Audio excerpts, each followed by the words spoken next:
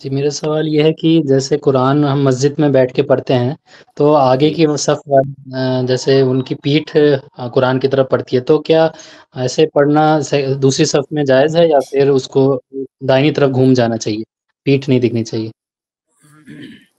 जी। अरमान अरमान भाई आप ये बताएँ कि क्या इंसान की पीठ कोई गलत चीज़ है? वो इंसान का जिस्म ही है।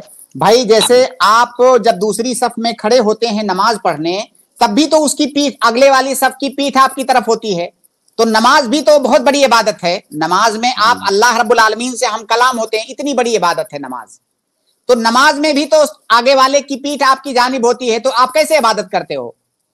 तो ये मतलब अवामुन नास में अजीब-अजीब तरह से चीज़ें खुराफात की शक्ल में फैल जाती हैं कि आप कुरान पढ़ रहे हो तो आपकी जानिब किसी की पीठ नहीं होनी चाहिए। क्यों नहीं होनी चाहिए? क्या दिक्कत है उसमें? कोई परेशानी नमाज़ में नहीं भी है भाई। पढ़ रहे होते हैं। नमाज़ में नमाज़ में कुरान भी पढ़ नमाज़ में कुरान पढ़ रहे होते हो प्लस आप नमाज़ पढ़ रहे होते हो। जी, जी। जी, जी, तो मना क्या है अ, मना क्या है? जैसे मान लें पैर करके कोई उस तरफ़ सो रहा है, तो वो क्या गलत है? नहीं, किसी ने मना नहीं किया है। कहीं कोई हदीस नहीं है।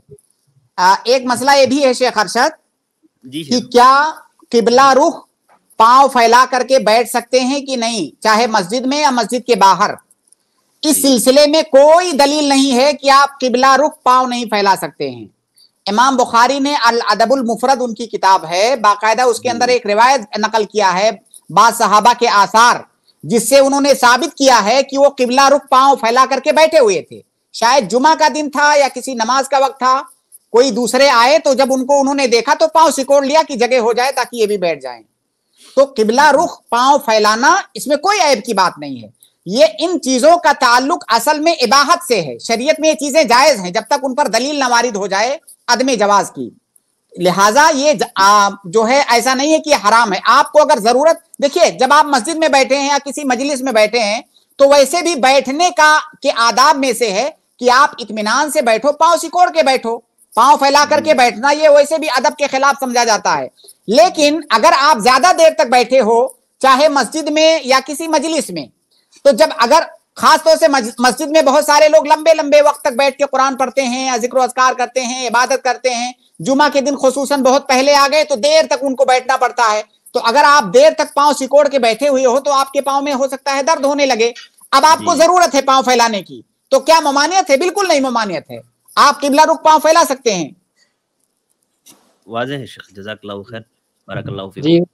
किबला की बात चली तो कंफर्म करना चाहूँगा कि थूकना और टॉयलेट करना उस तरफ़ मना है, राइट?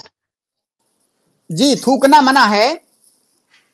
आ, खास तौर से नमाज़ में खास तौर से नमाज़ में और टॉयलेट करने का मसला तो टॉयलेट करना अगर घर के अंदर टॉयलेट है अंदर कमरे के अंदर जैसे कि आजकल होता है जी। तो उसमें किबला रुख चाहे पीठ हो या रुख हो जायज़ है जैसा कि अल्लाह के नबी सल्लल्लाहु की हदीस है। और अगर बाहर है, खुले में है, खुले में कोई कजाए हाजत कर रहा है तो किबला की तरफ़ चेहरा करना या पीठ करना, ये मना है। लेकिन अगर अंदर है तो जायज़ है।